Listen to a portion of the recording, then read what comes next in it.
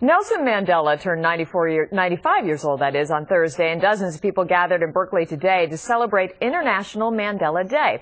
Congresswoman Barbara Lee was the main organizer of the event at Berkeley's Black Repertory Theater.